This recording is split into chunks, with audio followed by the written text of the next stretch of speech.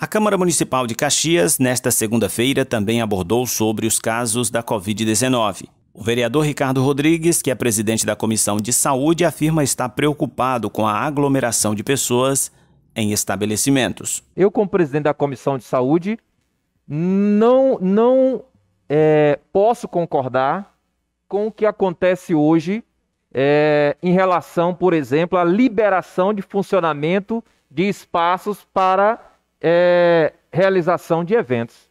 Ora, vereador Mário, nós estamos há dois anos com a educação parada. De repente você passa em uma avenida, você vê um bar lotado de pessoas tomando cerveja. Nada contra quem toma sua cerveja, mas pode tomar em casa. Nós precisamos fazer uma reflexão. Já passou a pandemia? Não. Já está todo mundo vacinado? Não. Então por que, que nós vamos liberar para que as coisas aconteçam livremente. Eu acho que todos devem exercer as suas atividades, claro, mas com toda a segurança. Por outro lado, o vereador Catulé elogiou o avanço da vacinação em Caxias. O mesmo fez o vereador Mário Assunção, que destacou que a cidade está trabalhando para o retorno às aulas em meados de agosto, caso a vacinação esteja em bom patamar. A nossa cidade está da vanguarda, está na frente em relação à imunização. Nós estamos imunizando bem.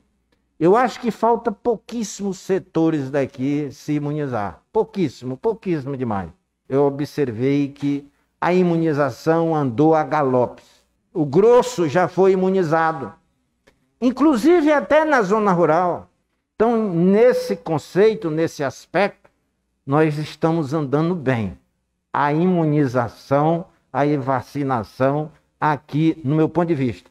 Eu acho que ninguém tem nada a desejar, não tem nada a reclamar. E eu queria aqui deixar meus parabéns e externar a todo o corpo técnico da Secretaria de Educação do nosso município, que está trabalhando incansavelmente para que se tenha um retorno seguro às aulas. A vereadora Cíntia Lucena destacou a criação da Procuradoria da Mulher, que abrange os assuntos relacionados à mulher na Câmara Municipal. O vereador Catulé sugeriu que a própria vereadora possa ocupar esta atribuição, o que ajudaria nos trabalhos da Câmara Municipal. E quero aqui também frisar e agradecer né, aos nobres colegas pelo projeto que eu apresentei na última sessão na Câmara Municipal de Caxias, que é a criação da Procuradoria da Mulher no âmbito da Câmara Municipal. Isso aí só irá mais ainda fortalecer nós mulheres no município de Caxias, ampliar mais ainda a rede de proteção das mulheres e promover mais espaço para discussão de políticas, né? Incentivar também mais as mulheres caxienses a entrar também na política. Ela propôs a criação de um órgão que cuidasse, que venha cuidar do interesse da mulher.